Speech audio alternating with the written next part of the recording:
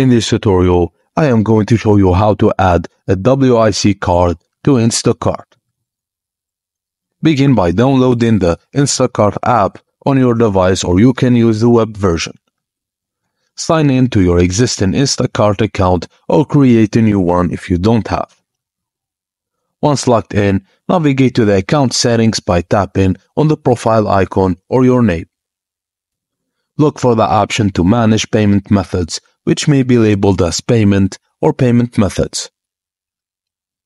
Within the payment methods section, locate the option to add a new payment method. Choose the option that allows you to add a WIC card or a EBT card.